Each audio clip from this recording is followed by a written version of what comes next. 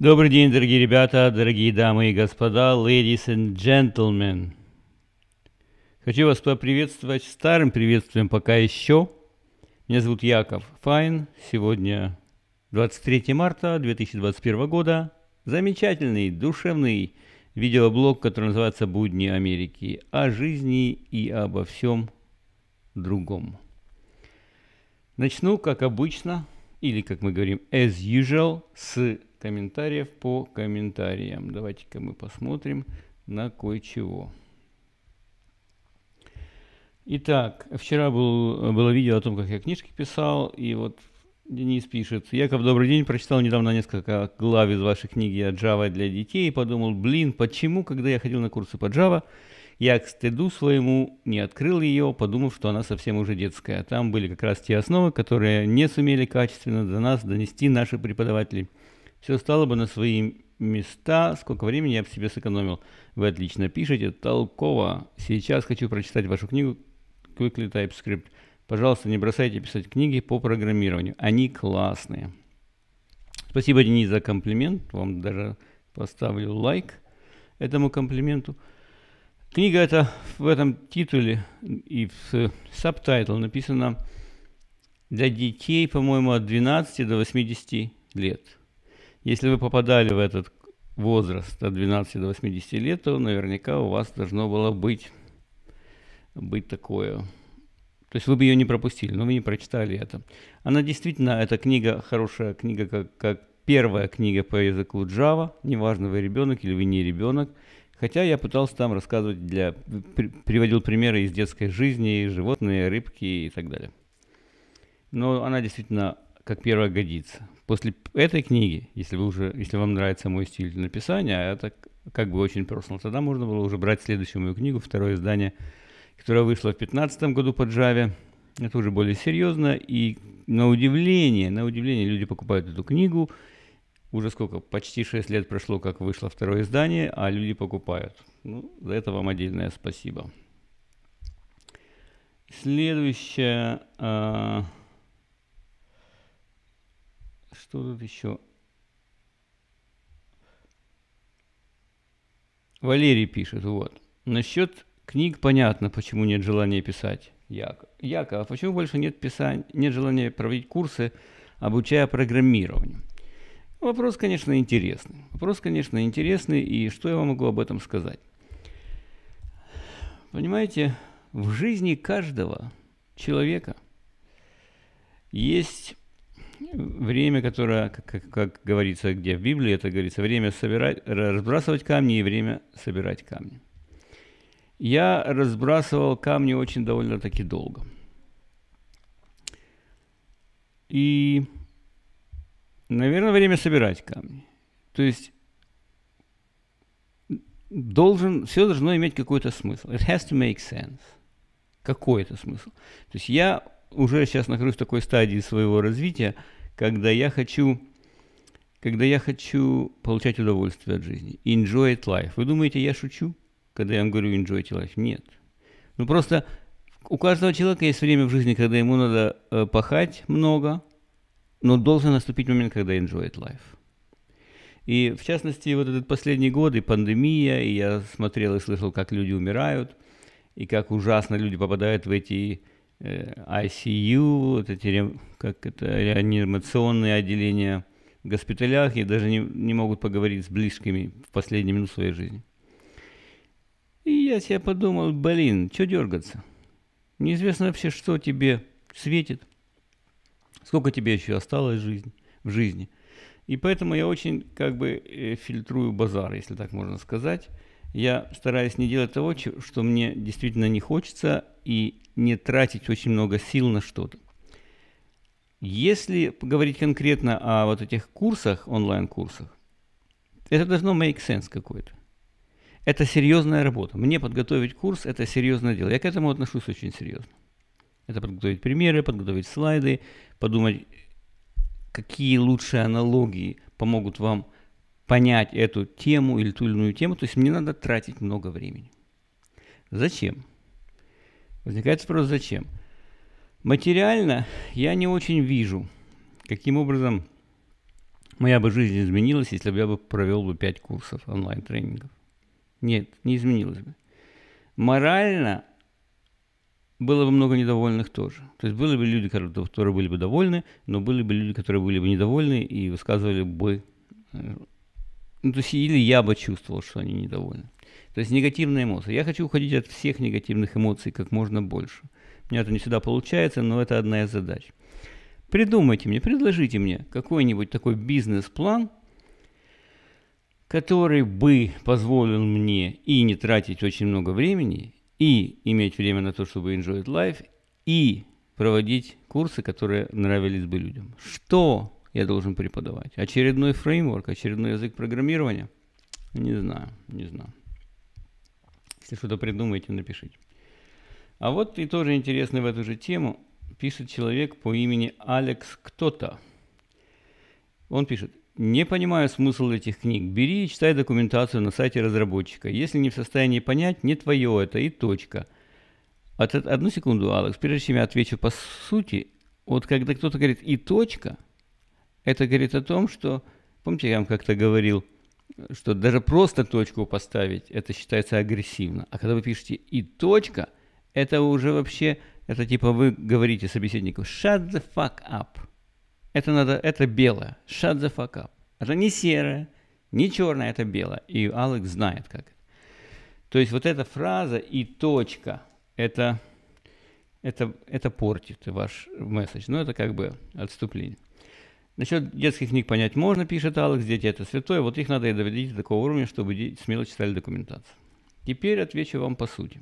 Тут вам, отвечали многие люди, которые отвечали, кстати, правильно. Э, ну, хочу я все-таки свои 5 копеек вставить, если можно. Зачем писать книги по программированию? Или зачем читать книги по программированию? Когда есть документация. Во-первых, хочу вам сказать, что, во-первых, вы живете в такое легкое время, это я говорю о программистах, когда есть документация действительно. Я вспоминаю 80-е годы, я уже работал программистом, тогда поступали те, те, кому повезло, а мне, я считаю, повезло, я работал в таком проектном институте, где были импортные персональные компьютеры уже в конце 90-х они пошли. И стало попадать как-то к нам вот это программное обеспечение. Документации не было вообще. Никакой. Или был какой-то там, скажем, в, в Болгарии где-то был институт, я не помню, как он назывался, уже что-то с инфо было – они тырили документацию американскую, ну, то есть наши тырили hardware, то есть железо, а они под украденное Советским Союзом железо, ну, скопированное, скажем так, они делали документацию, якобы это документация к этим советским машинам. Ну, эта документация была крайне левая, крайне плохая. А такие вещи, которые мы получали, скажем, первые, одни из первых моих курсов были там, допустим, спредшит, суперкалк на восьмиразрядном роботроне. Я там делал курсы еще в Киеве для женщин из плановых отделов. А, а мне нужна была документация, я вообще перевел, не имея исходников, я перевел, лазя там в двоичных кодах, в памяти перевел суперкалк, или как, как он там назывался, на русский язык, все меню, все было по-русски. И надо было, и, а, я делал тренинги и курсы. Не было документации. Сейчас море документации. Во многом документация хорошая. Сейчас есть такие сайты, как Stack Overflow. И, и все-таки к вопросу. Так зачем же писать книги по программированию, если все это есть? А затем, что, а, подавляющее большинство программистов, которые а, работают как профессиональные программисты, не senior, не опытные. Я не говорю, что они плохие, они еще не успели. У них нет 15 лет опыта, когда они смотрят на любой новый язык программирования, понимают, что и там есть if стейтменты, но только, может, не надо писать фигурных скобочек и что. А задачи все одни и те же. Вот люди, которых, у которых нет такого большого жизненного опыта и тон документации, которую они уже перелопатили и разобрались в чем-то, им книги помогают. Почему? Потому что я, допустим, взять ну, последнюю книгу, которую мы написали с Антоном Моисеевым, мы программисты с хорошим опытом. С хорошим опытом. И мы сделали книгу, которая не просто рассказывает там синтаксис языка TypeScript. Синтаксис языка TypeScript, он помещается там его можно рассказать там на 50 страницах. А эта книга была на, на 500 страницах. Давайте я вам покажу ее оглавление. Мы эту книгу писали так, чтобы сделать какую-то big picture, которую большую такую картину общую, чтобы пазл собрался, как вот эти все элементики языка TypeScript использовать в реальной жизни, с реальным проектом. Вот давайте посмотрим на оглавление этой книги. Оно состоит из двух частей. Первая часть – это синтаксис языка TypeScript. Я не буду там все раскрывать, ну, там типы данных. Вот это вот, это как раз все вы можете прочесть в документации, в технической. И то, я считаю, что я умею делать хорошие примерчики, даже на вот эти мелкие штучки, лучше, чем может написать средний человек, пишущий документацию. Ну, допустим, оставим это. И вот эта вот первая часть, которая, я не помню, сколько там страниц, может быть, 150. Это синтаксис языка с маленькими отдельно взятыми разрозненными примерчиками. А теперь вот вторая часть, это там, где начинается интересно. Applying TypeScript in Blockchain App. Мы сделали, вот смотрите, сколько глав. Раз, два, три, четыре, пять, шесть, семь, восемь, девять глав, в которых мы показываем с этой стороны, с той стороны, как сделать веб-приложение мы используем, допустим, мы там строим какую-то такую простую блокчейн, но мы пока, а сначала объясняем, что это, а потом показываем, как сделать просто чистым HTML и TypeScript. А потом, как сделать на сервере, чтобы Node был и TypeScript. А потом мы показываем, а как, может быть, взять какую-то из популярных фреймворков, которые используют TypeScript. Вот, о, Angular фреймворк с TypeScript, мы его переделаем. Те же самые приложения. Сначала мы рассказываем основы, а потом мы э, где-то, а вот здесь, develop, Видите, вот здесь основы Angular фреймворка, а потом мы здесь показываем, э, как блокчейн делать на Angular. А потом, что мы делаем? А потом мы переходим на React, другой фреймворк популярный, рассказываем basic, basics of React, а потом опять, как делать блокчейн, а потом мы показываем Vue.js, а потом опять, как делать блокчейн. То есть вот со всех сторон мы показываем вот это все дело. По моему мнению, это очень ценно. Это очень ценно. С другой стороны, как оценить программисту, оценить ценность той или иной книги? Вот вы покупаете книгу на 500 страниц. Вы, опять же, я говорю о профессиональных программистах, не о тех мальчиках и девочках, которые просто решили поиграться с программированием, у которых немерено времени и которых, у которых нет deliverables, они не должны в конкретный срок что-то выдать своему работодателю. Мы говорим о профессионалах. Профессионалы ценят время. Если что-то если вы прочли 10 страниц из этой книги, которая 500, и эти 10 страниц вы сказали, честно себе сказали, да, это мне было действительно полезно, и оно мне сэкономило два дня. Или один день. Один день исследования, который я бы потратил сам на чтение документации. Один день. Сколько стоит один день программиста? Сколько? Я не знаю, сколько вы получаете в своей стране. 200 долларов? вы получаете в день. Ну, хорошо, 150 долларов, кто-то 350 долларов. Опять же, чем выше, чем больше вы получаете, тем больше вы цените свое время. Тем больше вы понимаете, что книга мне полезна. Если вы купили книгу за 20 долларов, из нее 10 страниц вам были полезны, книга просто золотая. Вы должны на нее молиться и написать благодарственное письмо и грамоту с занесением автором этой книги. Они вам сэкономили один день работы. Один день. Понимаете? Вот так надо, я смотрю. Если в книге есть 10 страниц из 500, полезных вам, программисту, шикарная книга, золотая книга. А если в этой книге еще и 100 страниц полезных, ну це вже, блин, Библия, просто Библия. Так что читать книги полезно, конечно, желательно знать авторов и желательно доверять автору, доверять тому, что у него есть свое видение, как использовать те или иные технологии. Ну ладно, хватит. Что-то я все о программировании, о программировании, когда можно поговорить о Дональде Трампе. Дональд Трамп сделал заявление интересное, что скоро, вернее его помощник там один сделал заявление, что скоро мы все с вами будем enjoyить новую социальную сеть, которую он сделает или уже делает, не знаю. Дело в том, что вы помните, что Трампа выкинул Твиттер, а потом и Фейсбук. На Твиттере у Трампа было 80 миллионов или больше followers, последователей. 80 миллионов. Трамп что-то твитал, и оно расходилось на 80 миллионов человек. То есть его месседж доносился везде. Везде. Помните эту песню популярную? Ты целуй меня везде, 18 мне уже. А потом его выкинули, Трампа, из Твиттера. И этот месседж, его он замолчал. То есть там выкинули, здесь выкинули. И он решил сделать новый этот самый, э, новый, новый, новое приложение, новую сеть по социальным, э, социальной, по, как это называется, social network, где он сможет все-таки высказывать, что он хочет делать и так далее, и так далее. И вот я как раз открыл э, такой сайтик, он, он чисто левый, он против Трампа, ну, как бы это нам не мешает его читать.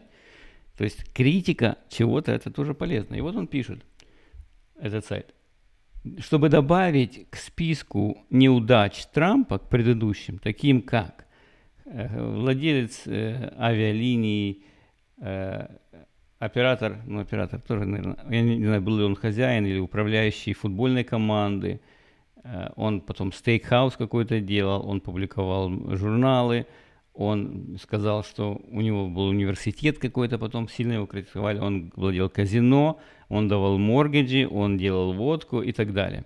И он, они тут пишут, что эта вот новая социальная сеть добавит к списку неудач э, Дональда Трампа. Ну и вот тут они пишут, что согласно советнику Джейсону Миллеру, который советник Трампа, на Fox News в воскресенье он сказал, что он начнет свою новую платформу, скорее всего, через 2-3 месяца. У него были типа high-powered meeting, такие очень энергичные встречи. А, а о стартапе в Сусья там в Мар-Лаго он там встречался. И он считает, что это будет такая горячая штучка, hottest ticket, hottest ticket in social media, в социальной медиа. Получится ли у него? Ну, во-первых, я хотел бы, чтобы у него получилось, но это сложнейшая тема. Сложнейшая тема. Сможет ли он сделать так, что на него будут подписываться люди в этой сети? Сто процентов сможет.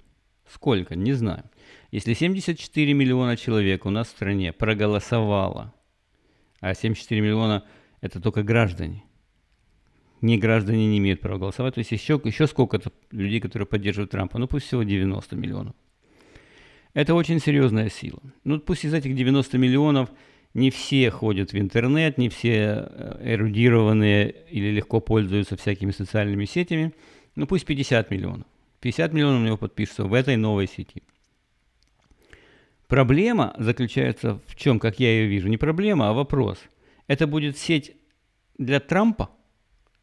Или это будет сеть похожая на Facebook или на Twitter, где люди смогут общаться друг с другом тоже.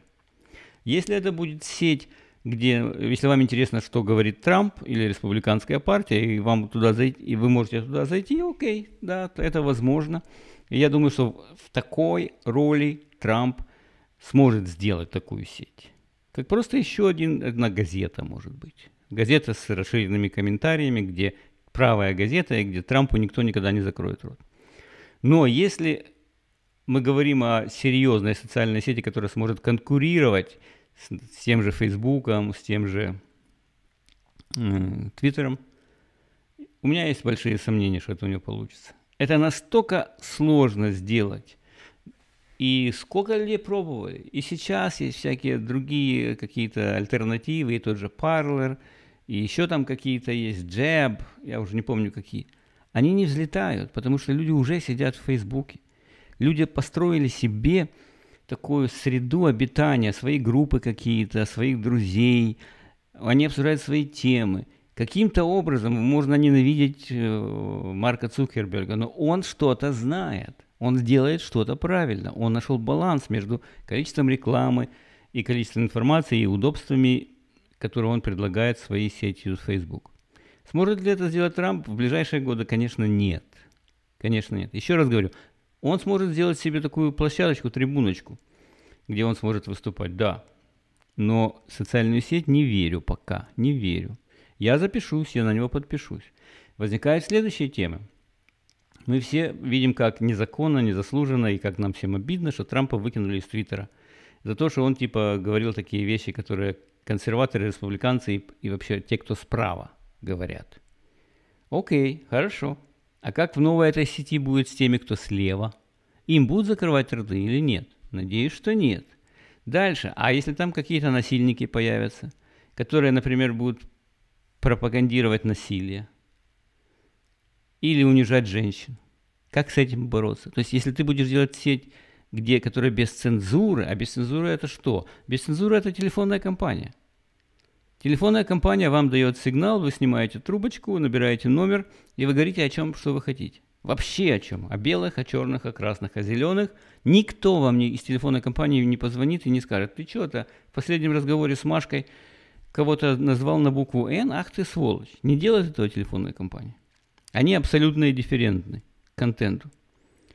А социальной сети ты как будешь разрешать или нет? То есть цензура будет какая-то? А кто скажет, что можно, а что нельзя в твоей сети? О, это очень много вопросов, ребята. Очень много интересных вопросов. В ближайшие годы не думаю, что Трамп сделает сеть, которая будет хоть каким-нибудь конкурентом Фейсбуку или Твиттеру, но он сделает сеть, э, которая позволит более свободно высказываться по разным темам. Посмотрим, что из этого получится. Я ему желаю успеха. Ну, как говорится, I have my reservations. То есть у меня есть некие сомнения на эту тему. Идем дальше. Идем дальше. Берни Сандерс. Берни Сандерс. Кто помнит Берни Сандерса? Давайте-ка мы найдем его фоточку. Берни. Он, помните, этот старик, старик седой? С дикими глазами. Сейчас я его найду. Он выступил против Илона Маска. Илон Маск у нас священная корова, как вы понимаете, а Берни выступил против. Вот оно. Ну, вы помните, Берни. Не мне вам рассказывать. Вот это мне нравится. Вот это мне нравится. Это Берни Сандерс.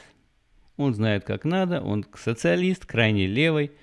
Хочет все забрать и поделить, обложить всех налогов к чертовой матери. Ну, что он сказал, в частности? Что он сказал?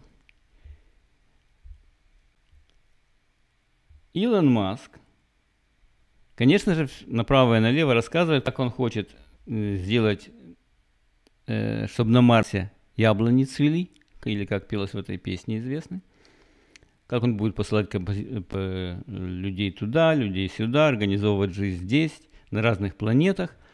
Вот. И Берни Сандерс ему сказал, что ему бы лучше, Илону Маску, сконцентрироваться на земных проблемах, а не на воздушных. На воздушных он пишет, он пишет, что он хочет, чтобы к 2050 году миллион человек побывал в космосе. Вот такие у него амбиционные планы у Илона Маска. А тот говорит, фокусируйся на Земле, и надо вообще сделать прогрессивную, еще более прогрессивную систему налогообложения, чтобы богатые платили больше и больше и больше. Маск, Илон Маск говорит, мы собираем ресурсы, ресурсы в плане финансовые ресурсы, для того, чтобы сделать жизнь multiplanetary, он говорит, то есть на мульти, многопланетной, чтобы люди жили. А, а Берни говорит, нет, фокусируй, облагай налогом тех, кто зарабатывает много. И он говорит, что он отвечает ему, Сандерс отвечает ему на вот эти все мультипланетарные э, амбиции. Он отвечает, что путешествие в космосе – это прекрасная идея, но сейчас мы должны фокусироваться на Земле и создать прогрессивную систему налогового обложения так, чтобы дети не голодали, чтобы люди не были бездомными и чтобы у всех американцев было, э, было, были медицинские страховки. Он также сказал, что высокий уровень неравенства в Америке – Э, это угроза нашей демократии. Нашей демократии. Надо вообще заметить, что если взять э, Илона Маска и Джеффа Безоса, два человека, два. Джефф Безос это начальник Амазона, а этот начальник Теслы, SpaceX и так далее. Если вдвои, со, собрать их состояние двоих, то это состояние больше, чем 40% вообще всех остальных американцев. 40%. Они действительно собрали кучу денег, они действительно дают очень много работ, благодаря им очень много людей имеют что кушать на самом деле, они голодают. они не, не являются причиной того, что люди голодают, а наоборот. Они являются причиной того, что люди не голодают. Понимаете? Вот так я смотрю на это. И просто говорить о том, что из-за них такие проблемы, проблемы бездомных, это не, за, не из-за Илона Маска. Это психические проблемы у людей, это проблемы э, демократических левых, которые создали системы управления в городах, э, графствах и штатах, которые поощряют то, что люди ничего не делают, а сидят на пособии, пособия маленькие, а на работу ходить не надо, сразу всякие мысли, а чем мне уколоться героинчиком, понимаете? И а после героинчика начинаются псих, психические проблемы, уже в семье жить нельзя, и они живут на улице. Почему бы тому же Берни Сандерсу не, не сказать, как решить проблему бездомных, как сделать им такие шелтеры, вот эти вот убежища, которые есть, в которых не хотят жить многие очень бездомные. Как это исправить? Как это сделать? Он не знает. Он говорит, надо забрать у Илона Маска и раздать бедным. И что, если вы хоумлесу дадите денег сейчас, он перестанет быть хоумлесом? Я хочу, кстати, вот сказать вам в связи с этим вот такую вещицу. У нас сейчас опять потянулись очереди в дизайнерские магазины типа Gucci и так далее. Много там людей, э, чья жизнь имеет значение в этих очередях. Опять. Почему? Ха, и к бабушке не ходи. Народ получил по 1400 долларов э, вот это, чеки. Уже начали получать, и многие получили уже эти чеки на человека. На любого человека, кто получает меньше 75 тысяч долларов в год. А чем меньше ты получаешь денег, конечно, тем больше твоя жизнь имеет значение. Это прямая зависимость. Или обратная зависимость, если так будет правильнее. И вот они потянулись и тратят деньги в Гуччи на дорогие э, вещи. Ну как это, ребята, как это? Если ты бедный, если у тебя нет денег, неужели Гуччи это главное, чего тебе не хватает? Конечно, это их деньги, они имеют право делать с ними все что угодно. Но это очень странно. Ну, очень странно. И вопрос у меня к вам, соответственно. Вот вы, дорогой мой товарищ, дорогой мой товарищ и брат, что бы вы сделали, если бы вам вдруг прислали чек на 1400 американских долларов? Можете написать? Простой комментарий. Если бы мне дали 1400 долларов, я бы сделал тот. Напишите. И давайте просчитаем – что у нас тут за компашка собралась и что бы они сделали с такой немаленькой суммой, я бы даже сказал. Немаленькой суммой. Ну вот, теперь еще одна темка, которую я хотел бы обсудить с вами. Есть один городишко, который называется Эванстон. Эванстон. Этот городишко находится в пригороде Чикаго. У нас не говорят Чикаго по-английски. Чикаго. Ну, вы говорите как хотите и так далее. Одним словом, такая тема, такая тема. Вот мы сейчас почитаем Associated Press. По-английски они бы говорили, по-британски Associated. Но мы-то с вами американцы, поэтому мы говорим Associated. Итак, итак, первый город в штате Иллиной. Опять же, вы бы сказали в штате Иллинойс, но S silent не читается, поэтому мы говорим Иллиной. Первый город начал предлагать черным жителям репарации. е Репарации.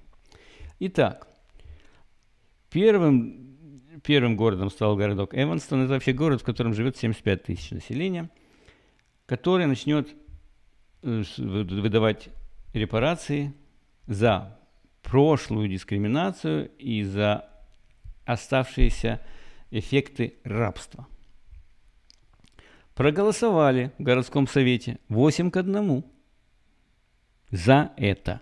И они начинают с того, чтобы первые 400 долларов были распределены между теми э, домашними хозяйствами, которые черные, где живут черные люди, и они eligible. Они eligible. То есть там потребуется некое доказательство, что ты произошел из африканских стран, и у тебя были в роду рабы. И вот каждый, они сказали, что каждое, если вы попадаете, ваша семья попадает под те определения, которые они там сделают, то вы получите 25 тысяч долларов ну не просто так, чтобы в Гуччи сходить, а на то, чтобы делать ремонт дома или положить первый взнос на покупку дома. Откуда будут деньги? Где деньги Зин? Это всегда вопрос, который всегда вот тут где-то там in the back of my mind. А, где деньги Зин? Ну, то есть 400 долларов, 400 тысяч у них уже есть, но они сказали, что они, этот, эта программа будет э, финансироваться с помощью трехпроцентного налога на что? На продажи от recreational marijuana. Марихуана, которая продается официально не по медицинским соображениям, а просто для того, чтобы побалдеть, to recreate, для того, чтобы восстановить свои силы, то есть будут облагаться налогом. Говорят, что они будут собирать налогами вот за эти 30%. Они говорят, что за, за 10 миллионов они, вернее, они надеются раздать 10 миллионов за следующие 10 лет. 10 миллионов – это миллион в год. То есть, видите, можете себе представить, какие там налоги дерут с тех, кто продает марихуану. 75 тысяч народу живет в этом городе, из них э, афроамериканцев 18%, то есть не так уже и много. Э, что из этого получится? Я не знаю, что из этого получится. Считаю, что, в принципе, э, демократические начинания и такие неестественные начинания обречены на провал – Конечно, кто-то получит, конечно, кто-то действительно отремонтирует дом или положит на новый дом. Но более тонкий вопрос, кому, мож, кому надо давать, а кому не надо давать эти деньги. Как их давать, эти деньги? Это как? Это дать э, э, кредит э, в некоторых магазинах хостоваров? Или напрямую эти 25 тысяч будут переведены тому банку, который тебе дает ипотеку? Как это будет сделано, мне интересно, я не знаю. А главное, кто является черным, который eligible, который eligible, который, которому положено. Просто черные всяких, тут у нас острова всякие, Багамские, Карибские и другие. Там такие люди черные, у ха-ха-ха. Э, чернее не бывает. Но они не те черные, Потому что есть много оттенков черного, как вы знаете. Нам нужны черные, которых привезли конкретно из Африки и конкретно в виде рабов. Даже если рабовладельцы сами были черными, что и было в начале, но главное, чтобы у вас кто-то был среди рабов. Как это понять, не знаю. Если у вас э, черная кровь, не знаю. В принципе, в принципе, у нас тут есть одна компания, уже очень много лет, и я знаю людей, которые э, делали этот тест ДНК, за 99 долларов, а сейчас, по-моему, можно и за полтинник, там всякие купоны. Она называется что-то типа 23 and Me.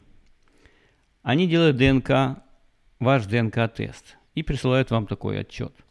Э, они вам присылают сначала набор, туда надо плюнуть, ну, может не плюнуть, но взять что-то там, как, мазнуть себе во рту где-то там слизистую оболочку или слюну и отправить им обратно. Они вам присылают потом отчет и говорят, где у вас сколько крови какой. Э, вы можете понять, вы можете увидеть, что у вас есть монгольская кровь или наоборот только э, российская, русская кровь, или вы можете увидеть, что у вас в основном еврейская кровь, или у вас может быть какая-то скандинавская кровь. Я видел такие отчеты, у меня знакомые это получали, как вдруг у нее нашли скандинавскую кровь. Э, и один, у одного нашли, скажем, ну, не, ну допустим, у вас нашли, что у вас 99,3 еврейской крови, а 0,7% африканской крови. Они это покажут. Положена ли вам какая-то доля от этих 25 тысяч? Откуда вы здесь, если у вас африканская кровь? Наверняка вас привезли. А как вас привезли? А рабом. А есть справка, что вас привезли рабом? Не знаю, люди, не знаю. Не знаю. Будем посмотреть, чем это все кончится.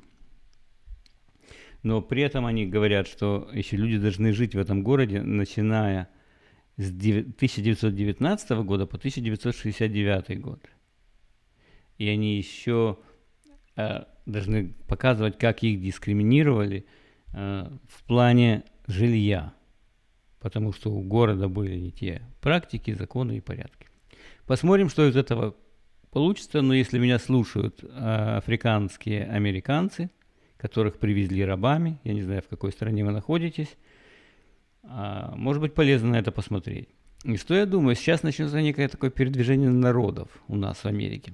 Передвижение народов, при котором народ потянется в такие города, где дают репарации. С другой стороны, если ты там не жил э, с 1919 по 69, тебя, ты не будешь, тебе не положено. С другой стороны, появятся города, где не будет такого требования, где не важно, где ты жил раньше и так далее. Посмотрим, чем это кончится. Я им желаю успехов в личной жизни, это несомненно. Ну и напоследок покажу вам пару фоточек э, с границы. Как вы знаете, у нас кризис на границе, на южной границе с Мексикой, где очень много скопилось иммигрантов, нелегальных, особенно детей, там 15 тысяч детей. 15 тысяч детей, которые перешли уже границу. Администрация Байдена, они не называют это кризисом, они выбирают другие слова, они говорят, это challenge, это вызов. Трампа можно было поливать как угодно, у него никогда такого ужаса не было, но теперь у нас это временно, это челлендж. Более того, если раньше они, у них была политика catch and release, слови и выпусти. То есть словили их, этих, которые прошли, им давали notice to appear in court. Э, это бумагу, такую, как это называется, блин, повестку типа, что вам нужно явиться в суде, в суд в такое-то время, в такой-то день. И ваше дело будет разбираться по убежищу, политическому или какому, то теперь они даже вообще стали ловить этих людей, выпускать их внутрь в страну, и даже их не требуют у них, чтобы они явились в суде в такое-то время. Они им говорят, если вы хотите дальше, чтобы рассматривали ваше дело по политическим убежищам, вы должны сами решить, когда и где вы хотите явиться в суд и так далее. Вообще уже такой ужас, вы не понимаете. Такая вообще лживая администрация Байдена. Такой я уже давно не помню, за 30 лет, что я здесь живу. Говорят одно, делают другое. Для своих одни слова, для чужих другие слова. Ладно. Короче, они не пускали журналистов туда вообще. Ну, каким-то образом кто-то пролез уже туда. Там были конгрессмены, но журналистов не было. И вот фотки ликт, утечка фоток произошла. И вот мы давайте посмотрим на эти фоточки. Посмотрите целлофаном затянутые какие-то квадраты, народ лежит на полу, бедные эти дети несчастные. Э, и смотрите, это они там сидят. Я не знаю, где там эти туалеты у них несчастных, наверное, есть. Вот.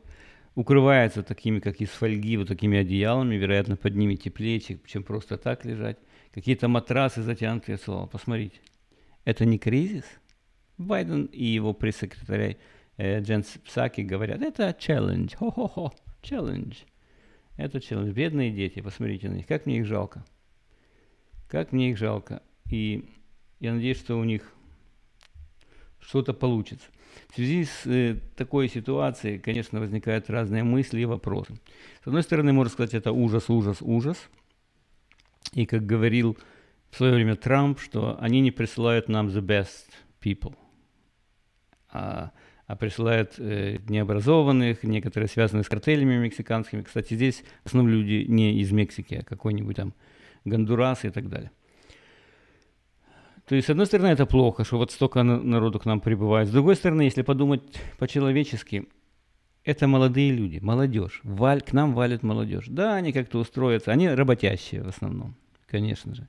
Да, есть некоторые из них, которые не работящие, там у кого-то будут преступные связи с мафией.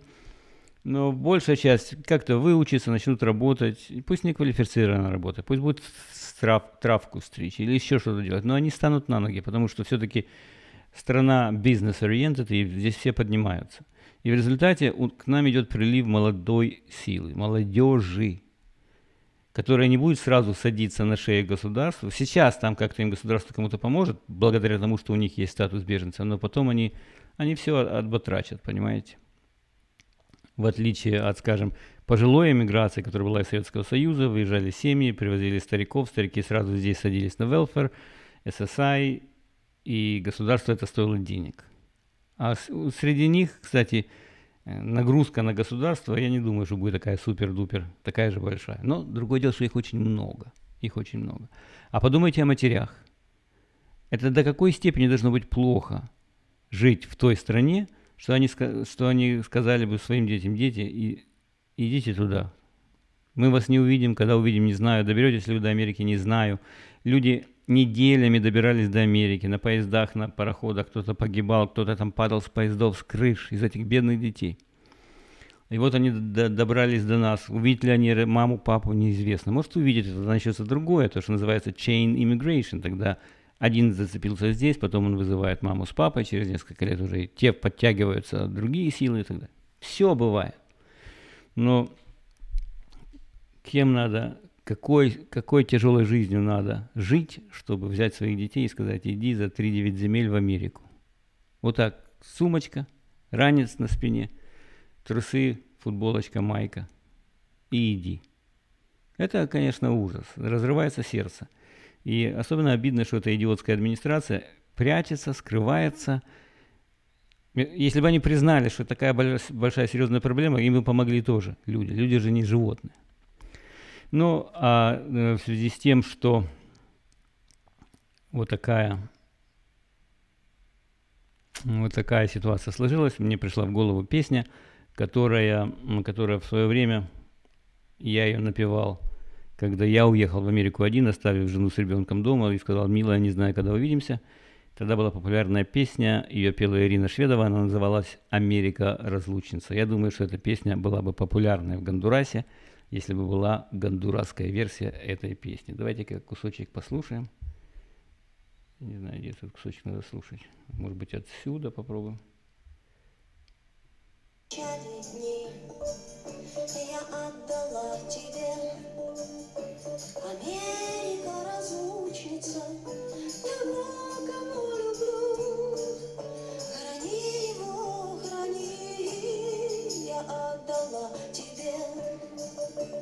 Америка разлучница